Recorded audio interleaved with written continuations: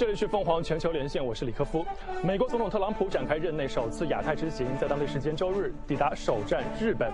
贵宾来临，日本首相安倍晋三展开高尔夫和铁板烧外交，热情款待特朗普。特朗普表示，日本是美国的重要盟国，并说现在的美日关系是历史上最好。特朗普此行的重点之一是寻求应对朝鲜核问题的解决方案。他警告任何人都不能低估美国的决心。他建议日本可以从美国购买军事装备，用以击落朝鲜发射的飞弹。而在其他议题上最敏感的日美贸易问题谈得并不轻松。自美国退出跨太平洋伙伴关系协定 （TPP） 以来，日本是心灰意冷，日美经贸关系。面临重大调整，那么这一次特朗普有没有带来日本想要的东西、想听的话？日美军事同盟在朝鲜这一个共同的敌人面前又会有什么新动作？绑定在美国战车上的日本又如何来看待美国在国际事务的全面收缩？今晚的凤凰全球连线东京现场，凤凰卫视驻日本记者李淼，日本东京现场还有日本东洋学园大学教授朱建荣，北京现场中国现代国际关系研究院日本研究所研究员刘军红，连线解读特朗普的亚太首秀。我们先来看李密的追踪报道。女儿打前哨，老婆伴左右，花团锦簇中，美国总统特朗普抵达秋意已经很浓的日本，拉开了亚太行的序幕。为了迎接远道而来的老爷，日本政府下达了二战后最严格的安保署令，更调派两万一千名警察到东京，比三年前奥巴马访日时还要多出五千人。首相安倍晋三和夫人更是陪打球、陪逛街、陪吃饭，鞍前马后的姿态已经远超地主之谊。盛情之下，特朗普的一颦一笑全被放大解读。位于是道饲料，他是不是不高兴了？见天皇不鞠躬，他是不是太傲慢了？一举一动无不牵动着安倍战战兢兢的小心肝儿。即便如此，向来现实的金融市场依旧不给任何人面子。六号上午，日元急跌到七个月以来新低，美元对日元突破一百一十四点五的大关。而自从安倍晋三二零一二年上台以来，日元对美元贬值已经超过百分之二十六。特朗普就曾在多个场合炮轰日元疲软，扩大了美日间的贸易逆差。也是在六号当天，特朗普在会见美日两国商界领袖时，就毫不客气地说，日本在美日贸易中已经占了几十年的便宜。And I have to say, for the last many decades. Japan has been winning. You do know that. 二零一六年，美日商品和服务逆差总计近七百亿美元。所以，特朗普说，美国与日本的贸易不自由也不互惠，两国已经开始了新的贸易谈判。而美日两国从新贸易协议中的获益一定会比 TPP 要多。但有消息称，包括日本在内的十一个国家将在越南 APEC 峰会期间推出一个不包括美国在内的十一国 TPP。安倍晋三正是最坚定的推动者。不过，失之东隅，收之桑榆，日美贸易分歧或许难解，但在应对朝鲜和战略合作上却相当热络。在六号的共同记者会上，特朗普就重申。美日将通过更紧密的同盟关系来应对朝鲜的威胁。为此，安倍不惜慷慨解囊，承诺今后向美国进口更多 F 三十五战机和更多的导弹拦截系统。而前一天还没见到安倍的面，特朗普就在横田美军基地高呼：“We will partner with friends and allies to pursue a free and open Indo-Pacific region.” 在去年下半年，安倍就曾以自由而开放的印度洋太平洋战略为名，提出了新的外交战略，为此还多次与印度总理莫迪会谈。而特朗普政府目前力推的印太战略，也与安倍的版本如出一辙。有分析称，特朗普政府事实上全盘接受了日本的建议，在联合澳大利亚以及印度等国来遏制中国方面，美日两国或许已经找到了新的战略合作途径。取经还是不到，特朗普日本行将如何为其亚太策略定调？谄媚还是赌博？安倍超规格接待特朗普，能否换回美日同盟更进一步？拱火还是解套？美日能能否为解决朝核危机找到正确出路？谈钱伤感情，谈感情伤钱。在日本的特朗普可以说一改往日作风，说了很多好听的话，说了很多客套话。但是日本媒体、日本舆论、日本民众如何来看待特朗普的到访呢？我们立刻连线在东京的记者李淼。李淼你好。关于这个特朗普首次访问日本，日本的舆论有什么样的解读？好的，客服。这次呢，特朗普亚洲行第一站选择了日本。日本的战略目的呢，其实很简单，就是对外展示一个牢固并且非常亲密的日美同盟关系。那么我们看到，在这次安排特朗普的访日日程当中呢，安倍其实是想尽了心思，比方说开展高尔夫球外交，亲自迎接去餐厅，三天之内两个人一起吃了四顿饭，并且呢，照顾特朗普爱吃肉的习惯。昨天呢，中午吃了美国牛肉汉堡，晚上呢就是铁板烧牛肉。今天呢，两个人还一起喂鱼，所以两个人都很看起来表。情轻松。用他们自己的话来说呢，就是日美首脑从未这样亲密无间过。那么对于日美来说呢，其实朝鲜是这次最重要的议题。但是呢，我们看到在两国的首脑会谈之后的记者会上，并没有提出明确的政策。特朗普没有提到军事行动。日本呢表示会加强对朝鲜的单边制裁。另外，日美这次提出了一个引人关注的战略，就是印度太平洋战略。我们了解到，日美要在 APEC 这些国际会议上呢发挥主导作用，构筑东亚的海洋秩序。那么就有分析说是针对中国，但是呢，今天安倍和特朗普会谈当中呢，其实双方又提到，包括中国在内愿意加入的国家，他们全部都欢迎。这是日本首相官邸人士透露的。另外，有关中国的内容，我们看到安倍对特朗普说呢，日本希望能够从大局的角度改善中日关系，所以呢，估计特朗普在访华的时候呢，也会在朝鲜问题上敦促中国进一步对朝鲜施压。当然了，日美方面也是有不和谐的音符，那就是特朗普多次提到的对日本的贸易巨额赤字。但是呢，我们看到在首脑会谈上。特朗普并没有提到出要启动日美 FTA 谈判。另外，对于安倍说会增加从美国进口武器，日本国内马上就有在野党批评说不应该做出这样的承诺。对于印度太平洋战略呢，也有在野党说不知道这个理念最终的目的到底是什么。好，谢谢李淼带来东京的第一手的消息啊。啊，我们知道刚才特朗普也说了，现在的日美关系处在历史最好的时期，这是一个非常高的评价。有请在东京的朱教授，您如何来看待特朗普的这一番的评价？啊，现在的美日关系和以前相比有没有发生变化？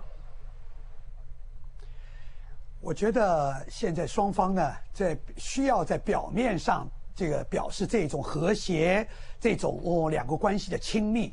因为对安倍来说，这次呃是拉近跟美国的关系，对国际，尤其对国内显示呢，他跟美国关系好，对他的这个。国内的这个支持呢有所增加呢，这个是安倍的一些考虑。对特朗普来说，国内面临各种问题，他出访亚洲第一站非要成功，所以呢，应该说呢，我觉得更多的是表面的文章，这个呢还是做得不错，包括日本在各种细节方面的这种准备。不过在实质问题上，坦率的说，更多的是特朗普在。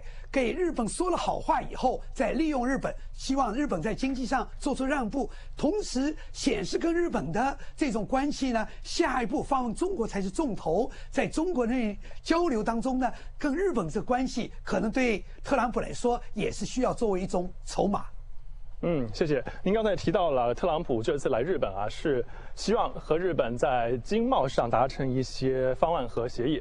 那么有请在北京的刘教授。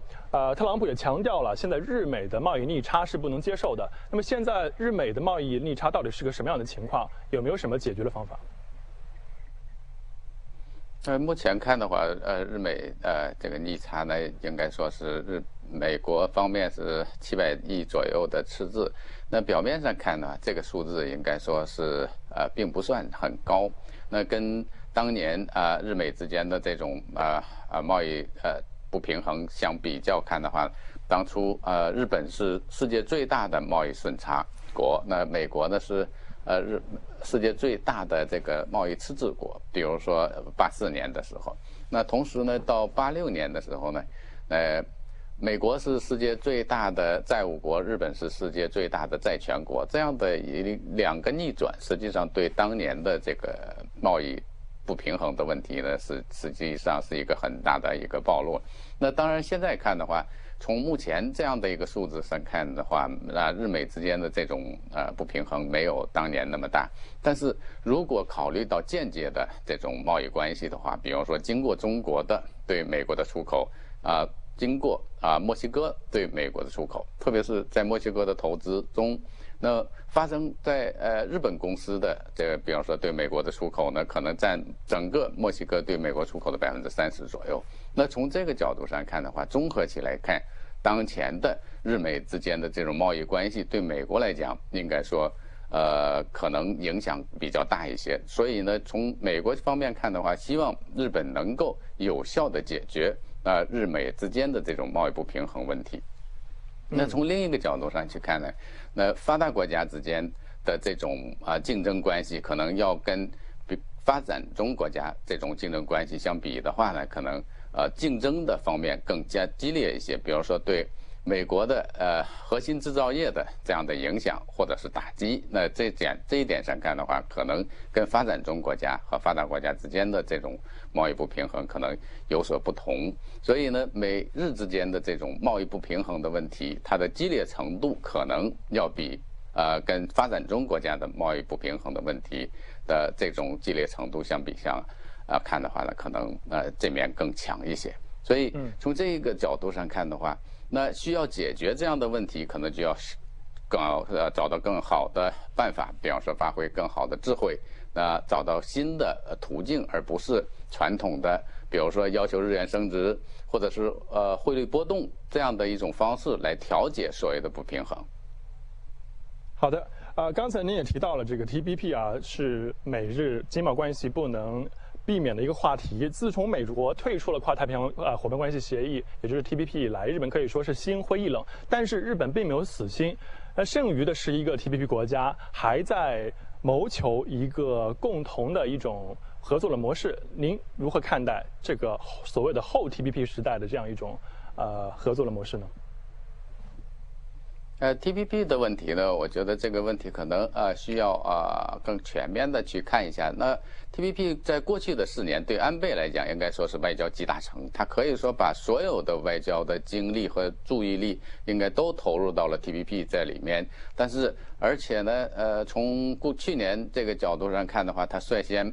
啊，在国会上通过了 TPP，那在主要的国家中应该说是比较早的，而且呢，呃，在通过 TPP，为了通过 TPP 这个呃法案的过程中，实际上把巴黎协定，呃这样的一个非常重要的一个法案，应该说呃没有时间啊来得及去审议。这样看的话，他的投入是比较大的。但是不幸的是，特朗普一上台就把它扔在地上了。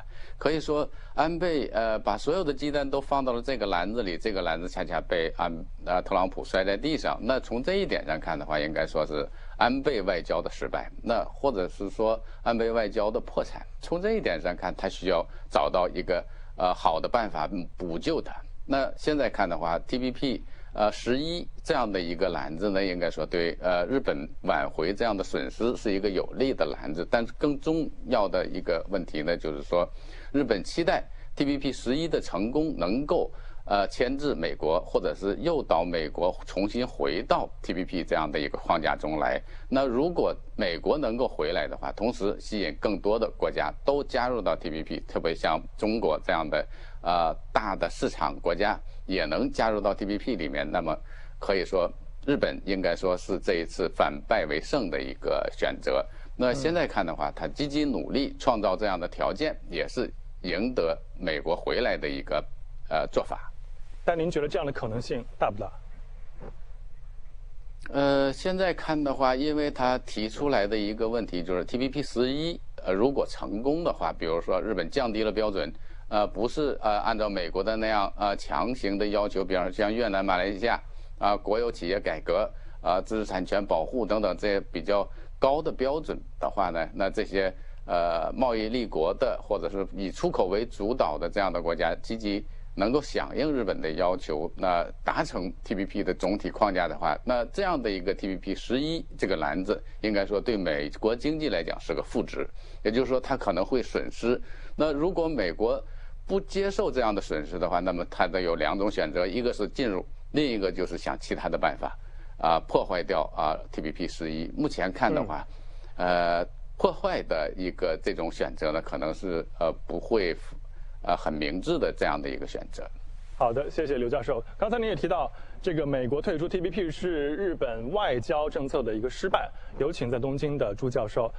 我们知道，啊，TPP 在对于日本来说是非常重要的。但是，安倍经历了这一次外交失败之后，是不是在国内也遭遇一些反弹？是啊，那个 TPP，呃，日本是呃外交上可以说押宝全部押在上面，而呃特朗普呃就任。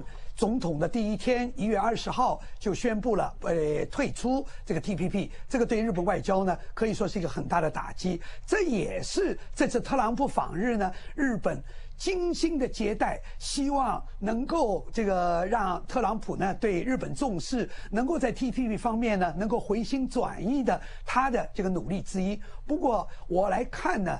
这个特这个 TPP 啊，时间越拖越长呢，各个国家它的各种反应都会出来，包括最近新西兰新的这个总理换了呢，对于 TPP 呢就提出了一些新的看法。这个意义上说呢，夜长梦多。老实说，这个日本以为呢，把 TPP 这十一能够先搞好，能够使美国回来的这个可能性，我看还是不大。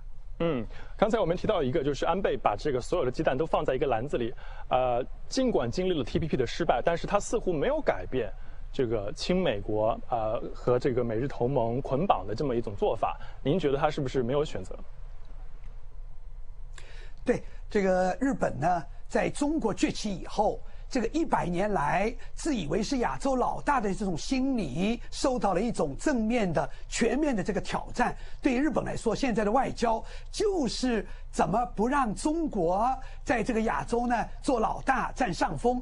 这个看见中国呢在各个地方发挥积极作用呢，他有点不高兴。那么，所以呢，这个可以说他的这个外交呢，各个方面呢都有一些想要牵制中国，这一点毫无疑问。不过，我们也要注意到，随着中国的现在的国力，GDP 已经是日本的两点五倍。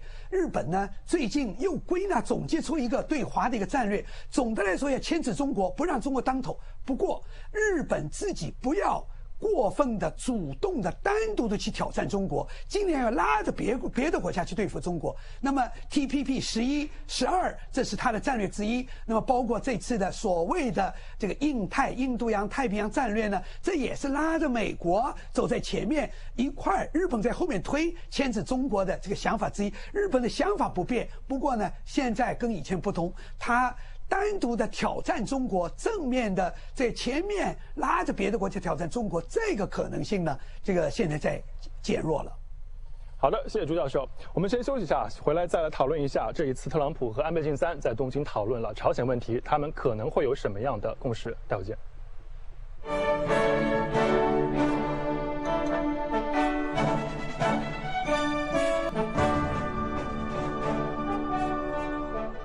凤凰全球连线。特朗普首访日本，这一次安倍晋三和特朗普都提到了一个名词，那就是印度太平洋战略。下面有请在东京的朱教授。这个印度太平洋战略啊，和以前奥巴马时代的亚太再平衡相比的话，在地理上、在广度上都有提升。如何来看待这个战略它背后的意图？美国希望日本在这里面扮演什么样的角色？这个印度太平洋战略呢？呃，首先呢，是应该说发源于于安倍日本。呃，安倍呢以前提出过一个呃安保的钻石战略，也就是说呢，正好一个四边形，日本、美国、澳大利亚、印度。那么当时呢，很明确的就是为了牵制、包围中国，但是这个呃没有成功。不过日本呢，在亚太要把别的国家拉在一块儿来牵制中国，这个想法不变。但是现在呢，日本单独的挑战中国呢，又涉及到各种各样的问题。这个现在呢，他宁可呢把美国推在前面，所以这一次趁着安这个特朗普访问日本，这个让美国说出了。这个印度太平洋战略，那么日本呢加以配合，我们对今后呢两者该怎么走呢？这个应该说呢要哦进行观察。比如说，日本可能会做一些，把这个印度太平洋战略，既然特朗普提出了，怎么形成一个机制啊？怎么形成一种四国的对话？对这些呢，我们要进行更多的观察。不过总的来说，我觉得特朗普呢还是美国第一。这一次的访日，对日本说了一些好话，包括日本要他说的印太战略呢，他也说了。总的来说，还是希望在经济上日本做出一些让步。那么对中国呢，他也是更重两国之间在中国的跟中国的实际交易，希望在中日、中美的经济贸易摩擦方面呢，中国多做些让步。这个意义上说呢，日本在背后推这个总的战略呢，跟以前一样。但是美国奥巴马的时期是有一个在亚太构筑一个对华。包围圈的，至少是遏制中国发展的这些想法。这个奥巴马，这个特朗普呢，应该说至少现在还没有这样一个明确的战略。日本想往把它往前推，不过中美关系的这个高层次的各个领域的发展呢，我想。这个这样一个呃印巴的呃印太的这个战略，美国跟日本完全站在一起，这个可能性不大。美国更多的是利用日本来牵制中国，但自己呢尽量从日本从中国两方得到好处。嗯，这个印太这个概念听起来还是有些玄乎啊。我们说一个很现实的问题，就是朝鲜半岛的核问题，也是这一次啊特朗普亚太之行的重要的焦点之一。那么这一次在日本，您认为安倍晋三和他，呃，日本和美国之间在朝鲜问题上有什么样的分歧，有什么样的共识？安倍呢，在最近几次和呃特朗普的电话啊通话当中呢，这个多次的就是表示了一种强硬，对北朝鲜呢不能讲什么软弱，不能讲什么谈判，现在必须要对北朝鲜做对朝鲜做进一步的制裁。那么，但是实际上呢，美国呢，既是要利用日本的这种强势，包括自己在亚太这次部署了三艘航母的舰队，对北朝鲜施下压力，那么也利用中国对朝鲜的影响，来迫使朝鲜呢在废核问题上回到。这个谈判桌上来，应该说呢，美国呢暂时还是没有真正下决心要采取军事行动，而日本呢，更多的希望美国在这个对朝鲜问题上呢更激烈一些。那么，日本跟美国配合呢，使得日本的这个军事力量能够更多的走出去，包括在这次美国对北对朝鲜的这个制这个牵制方面，美军的。这个轰炸机、战斗机进入东海、黄海的时候，好多就进行了跟日本自卫空中航空自卫队和韩国军队的这种这个配合。这一点上说，对日本是有利的。这个意义上说呢，日本更希望把这个事情闹得更大一点，希望美国呢对北朝鲜施加更多的压力。也呃，但是呢，美国呢，它实际上呢还是想利用日本，不过自己呢还是没有想好现在马上要对朝鲜。进行一些军事行动。是的，总的来说各取所需。好的，谢谢东京的李淼，谢谢朱教授，谢谢北京的刘教授，感谢您收看今晚的凤凰全球连线，我是李科夫，晚安。